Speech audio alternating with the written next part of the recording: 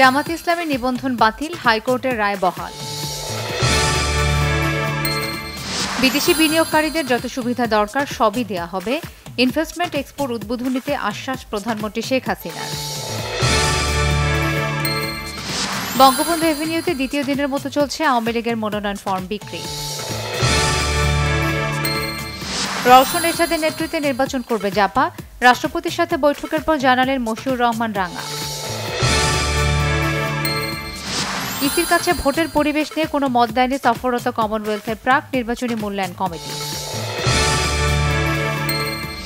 BNP ও সমমনাদের আটচল্লিশ ঘণ্টার হরতালে রাজধানী সহ দেশের বিভিন্ন জায়গায় বিচ্ছিন্ন মিছিল পিকেটিং।